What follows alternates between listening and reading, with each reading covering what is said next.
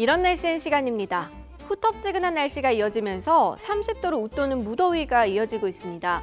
이렇게 더울 때는 우리 몸에 땀 배출량이 많아지고 그만큼 몸속 수분이 빠져나가 갈증을 느끼게 되는데요. 우리 몸의 60에서 70%가 수분으로 이루어져 있고 5% 정도만 부족하더라도 혼수 상태에 빠질 만큼 수분 섭취는 우리 몸을 지키는 데 굉장히 중요합니다. 하지만 설탕이나 액상과당이 많이 든 에너지 음료나 탄산음료는 체중 증가의 원인이 될 수 있습니다. 체중 증가 걱정 없이 안전하게 갈증을 해소하는 방법은 역시 물을 마시는 것이겠죠. 오늘 이런 날씨엔에서는 물의 효능과 올바른 섭취법에 대해 알려드리겠습니다. 네, 먼저 우리 생활에 꼭 필요한 물의 효능에 대해 알아보겠습니다.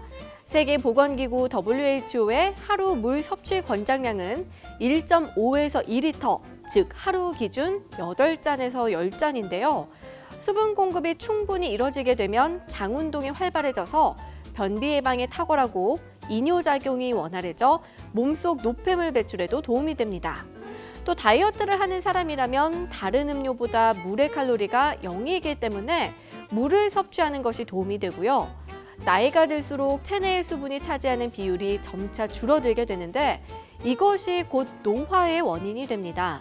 따라서 물을 마시면 노화 방제 효과도 있습니다.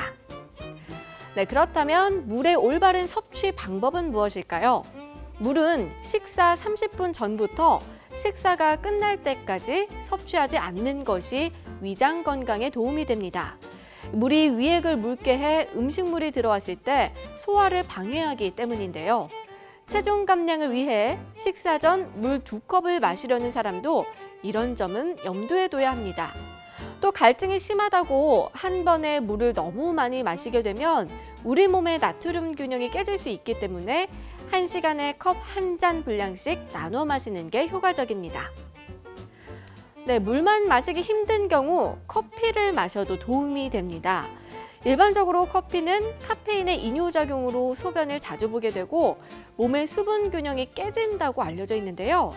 하지만 설탕이나 프림이 들어있지 않은 블랙커피는 칼로리가 거의 없기 때문에 물을 대체할 수 있는 최고의 음료라고 할 수 있습니다. 특히 커피를 습관처럼 마시는 사람들은 카페인 이뇨 효과에 대한 내성이 생겨서 수분을 유지하는 힘이 더 강하기 때문이죠. 오늘은 우리 몸에 꼭 필요한 물의 효능과 올바른 섭취법에 대해 알아봤는데요. 여름 휴가철이 점점 다가오고 있고 활동량이 많아지는 만큼 올바른 수분 섭취로 건강한 여름 보내시기 바랍니다. 지금까지 이런 날씨였습니다.